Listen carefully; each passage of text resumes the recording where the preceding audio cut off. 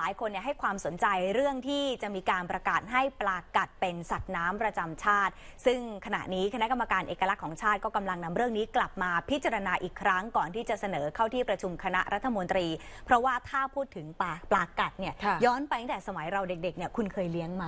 เคยค่ะนะทุกคนตายแบบ ไปเยอะแล้ว แหม ใครบอกว่าเลี้ยงปลากัดเลี้ยงง่ายเออๆ แต่ดิฉันทำไม่ได้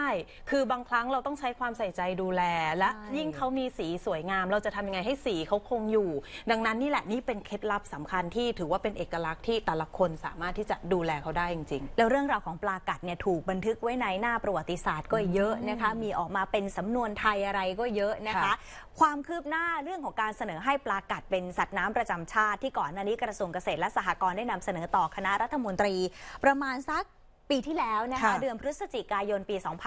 2560 ตอนนี้เนี่ยได้นำเรื่องกลับมาพิจารณาอีกครั้งในที่ประชุมคณะกรรมการเอกลักษณ์ของชาติ ที่มีนายวิษณุเครืองามรองนายกรัฐมนตรีฝ่ายกฎหมายเป็นประธาน โดยนายกฤษดาบุญราชรัฐมนตรีว่าการกระทรวงเกษตรและสหกรณ์บอกว่า ปลากัดถือว่าเป็นสัตว์ที่มีเอกลักษณ์ แล้วก็มีถิ่นฐานอยู่ในประเทศไทย มีความผูกพันทางด้านประวัติศาสตร์ แล้วก็มีผลประโยชน์ต่อเศรษฐกิจ เนื่องจากเป็นกีฬาแล้วก็มีการเพาะขยายพันธุ์เพื่อการค้า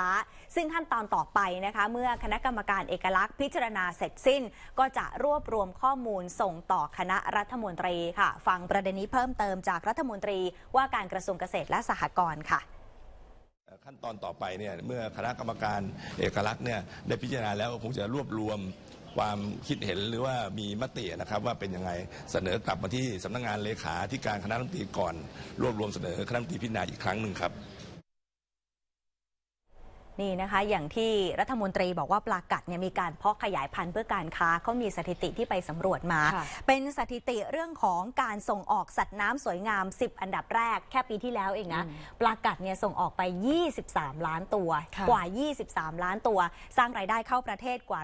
130 ล้านบาทนะคะเป็นจุดเริ่มต้นของการอ่าสร้างรายได้ได้นะคะบางคนเนี่ยเลี้ยงจากเริ่มจากเลี้ยงในขันเล็ก ๆ ในกะละมัง ประมาณเท่านี้ไปไปๆมาๆเริ่มกลายเป็นบ่อแล้วก็ส่งออก โดยเฉพาะประเทศกลุ่มอาหรับต่างๆเนี่ยช่วงปีใหม่แบบนี้ เขาจะนิยมที่จะส่งมอบปลากัดให้กันเป็นของขวัญเพราะเขามองว่าสีของปลากัดนี่แหละ คือสีความสวยงามและความเป็นสิริมงคลอีกด้วย นี่คุณเคยมีประสบการณ์เลี้ยงค่ะตอนเด็กๆเยอะเนี่ยลองลองเอาไปทดลสองงสารนะเขา